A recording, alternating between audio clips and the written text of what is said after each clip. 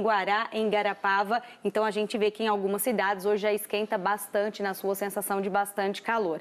Pouca chuva em toda a região porque os volumes são baixos. A gente vê aqui volumes abaixo de 10 milímetros, em torno de 4 e 5 milímetros. Não chega umidade suficiente para formar nuvens tão carregadas em todos os lugares. E aí, Danilo, a gente vê aqui que as instabilidades passam mais afastadas, né? Elas não estão concentradas na noite, né? E vale a gente dizer e destacar que a média era de quase 300 milímetros. E aí, em relação às temperaturas, a gente tem aqui, ó, 5 graus foi a menor temperatura registrada no dia 20 de maio e 34 graus foi a maior temperatura registrada no dia 31 de março. Esse é o balanço. Peguei Ribeirão Preto, mas reforçando e falando que em toda a nossa região os volumes ficaram bem abaixo da média. O inverno começa amanhã às 6h14 e vai até o dia 22 de setembro. Começa com tempo seco, grande variação de temperatura. É aquele inverno nosso, mais com cara de verão, né? Com temperaturas aí beirando os 40, como a gente costuma registrar.